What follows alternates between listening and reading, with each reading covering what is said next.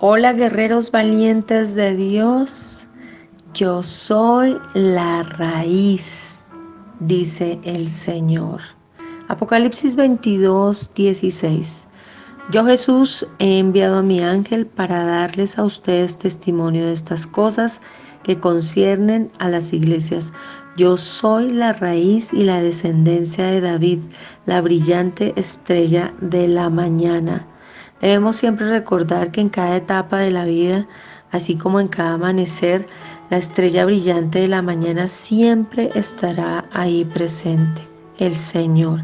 Cada momento que parece tan oscuro, que no va a pasar la noche, que no se va a acabar la noche, tranquilos que la estrella del Señor, la estrella de David, la raíz del linaje, va a florecer y va a mostrar su luz sobre tu vida. No importa que estemos pasando el momento más oscuro de nuestras vidas, el Señor va a brillar en medio de cada uno de nosotros. No te preocupes, por la noche viene el lloro, pero por la mañana vendrá la alegría. Dejemos toda ansiedad, toda tristeza y toda desolación y entreguémosle al Señor, al yo soy la raíz de todas las cosas, donde está nuestra esencia y nuestra vida. Entreguémosle a Él todo para que Él se encargue de todas las cosas y que la estrella brillante de la mañana sea quien te levante y te muestre el porvenir, un camino seguro para estar confiados de que todo va a estar bien. Yo te invito para que oremos esta mañana. Señor, te damos gracias, poderoso, hermoso. Tú eres la raíz de todo, Señor, y en ti ponemos a cada familia. Permite que cada familia pueda enraizarse en ti, Señor.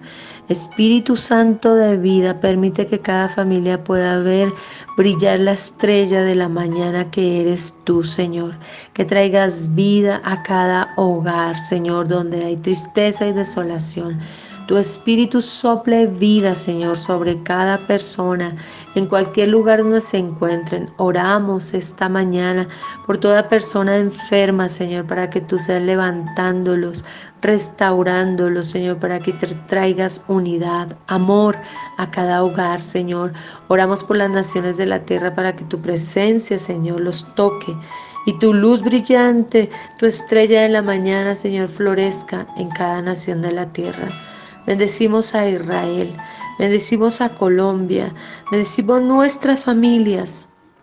En el nombre de Jesucristo de Nazaret. Amén. Gloria a Dios. Un gran abrazo y un feliz viernes.